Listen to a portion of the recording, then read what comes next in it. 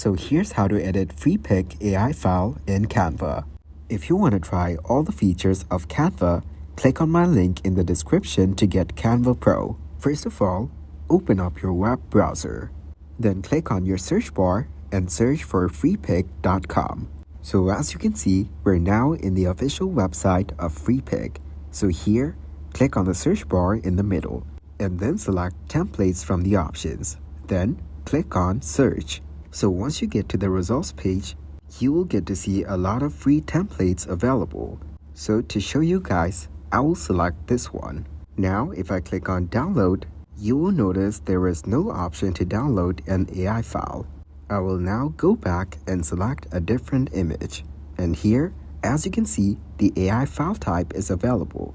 So if I click on download and click on this drop down, there will be an option to download an AI folder. Click on AI from the options and it will be downloaded to your computer. Now that you have the Freepik AI file downloaded in your computer, go over to Canva. After that, you need to head over to Canva. Now once you're here, click on Upload on the top right corner. Then, go to the folder where the Freepik AI file is located. Now just drag this file over to the upload section and as you can see, the file is being uploaded into Canva. Just wait for a while till it gets uploaded. And once it's done, click on it to open it.